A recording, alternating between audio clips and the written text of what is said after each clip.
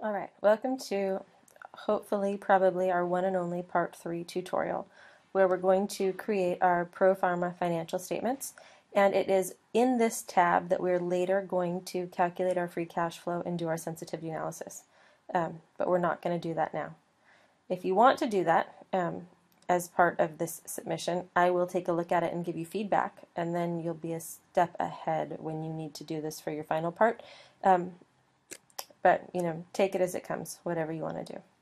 So I've created this little plan of attack. Um, obviously, I started with some formatting, but we're going to bring over our categories, right? Sales revenue, total revenue, all of the income statement, balance sheet drivers, um, categories. Then we'll bring over the drivers. Then we're going to bring over our most recent actual values. For me, that was 2013. Um, and then we're going to fix any funky little lines like dividends paid is weird on my sheet. You might have a sales growth rate or something else in there. Um, I'll take note of any of my drivers that aren't percentage of total revenue um, so that I don't incorrectly forecast them and then we'll actually perform the forecast. Let's see if we can get this all done in 15 minutes or less. All right, start with your common size statement. Bring over your categories. Highlight, Command C, bring them over, Command V. Step one, done.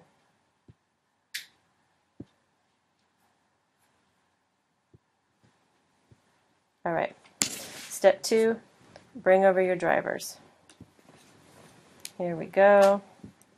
Drivers, highlight them all.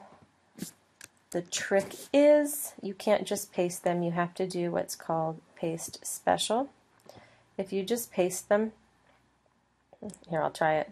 See, I get these weird references and blah blah blah. It doesn't work.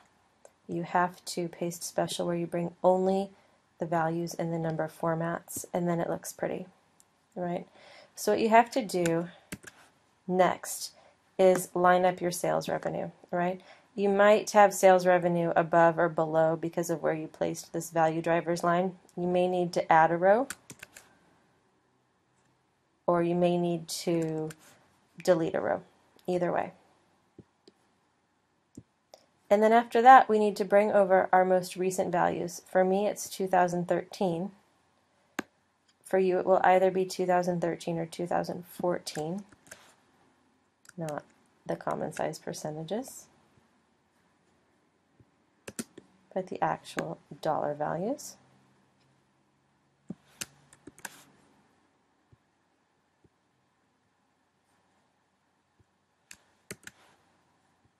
Great. Again, make sure that your sales revenue lines up with your value driver and the title. So now we're going to set up our years that we're going to forecast. We're going to forecast 2014 2015, 16, 17, 18. If you have 2014 as your most recent actual year, um, you'll be forecasting 15 through 19. All right. Um, we brought over our drivers. We bring over our, our most recent values. Then we need to just go through, and I want to adjust my dividend payout ratio. See how I have this dividend payout ratio. Oh, my other funky lines are that it brought over all of these things that we had hidden. I'm going to hide those again. And then instead of dividend payout ratio, I need two things. I need my dividends paid and I need my addition to retained earnings. In both cases, these are going to be the forecasted values. This number here would be the dollar amount of dividends that they paid in 2013. If that's what that is, enter it. If not, don't worry about it. But we're going to use a, oops, payment of dividends, ignore me.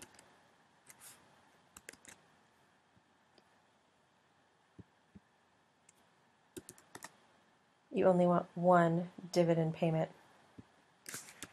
row. Make sure you only have one. I had entered it twice. I had to delete it. That's fine. The rest will get added to retained earnings. All right. So what is next?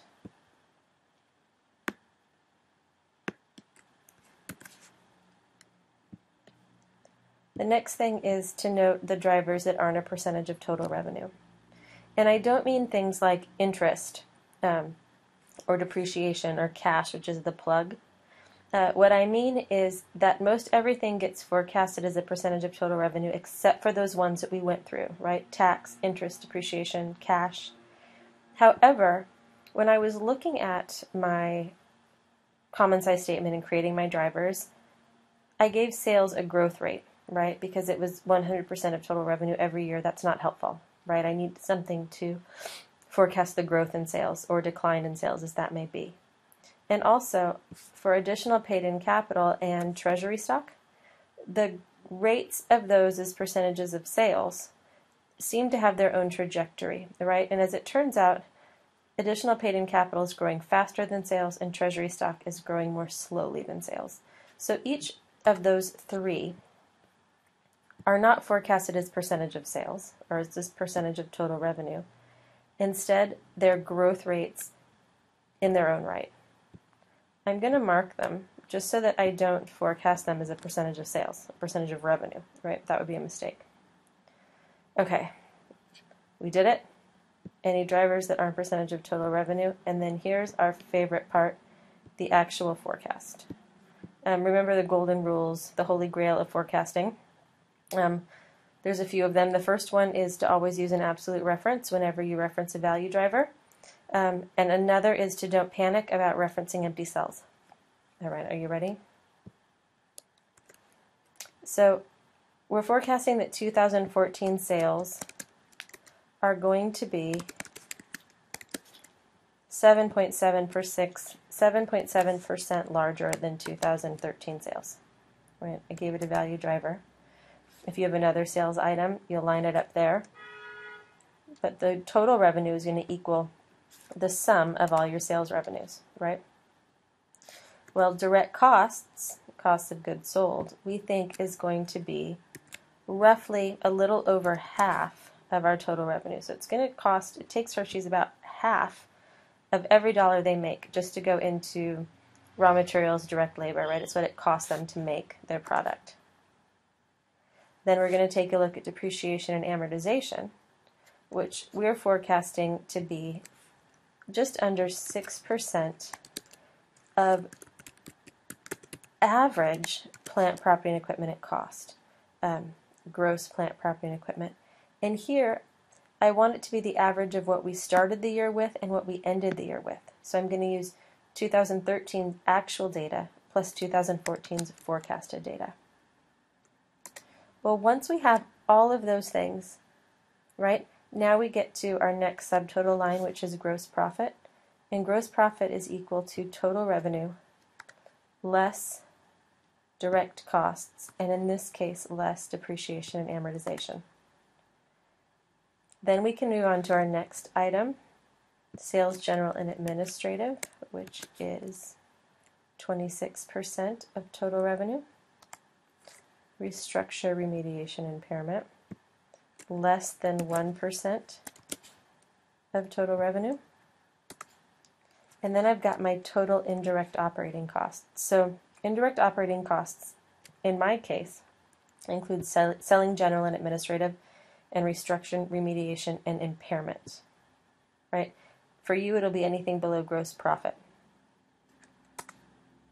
Which means my operating income income from operations is equal to gross profit less total indirect operating costs, right? These are all the ones we didn't get drivers for because we calculate them as percent or as a sum total of other things that we forecasted. Interest expense gross is going to be in this case interest paid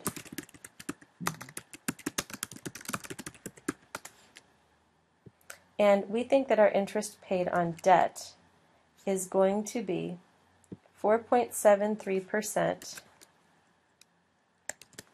of our average balance of debt, right? The thing is, is that we have two balances of debt that are important here. So we have our average balance of current debt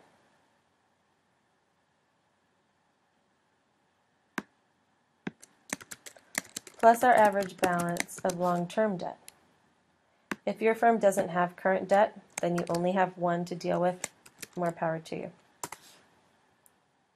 And our interest income is based on our interest value driver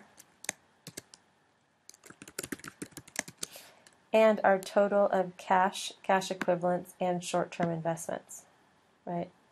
That line item is empty for that second year, but that's okay. Which means that our total non-operating income, get this, is going to be equal to negative interest paid plus interest income, right? This number is then going to probably be negative, and it's our only expense that's entered as a negative number. Um, you can adjust them so they're all entered as negative if that makes more sense to you. But I leave this one negative, and that's the convention that interest can be positive or negative, and you need the sign to tell. So our earnings before tax then is going to be based on our operating income minus our total non-operating income, but if that number is entered negative, you add the negative. And our taxation, 35.21% of our earnings before tax, gives us a net income of earnings before tax less income tax expense. Whew! And of that net income, we are going to pay half of it as dividends, and we are then going to add the remaining bit to retained earnings. And with this 50% dividend payout ratio, it makes everything pretty handy. All right. How long have we been here? 12 minutes? All right, we're going to do another one uh, showing how to forecast the balance sheet. Happy calculating. Email me if you have any questions.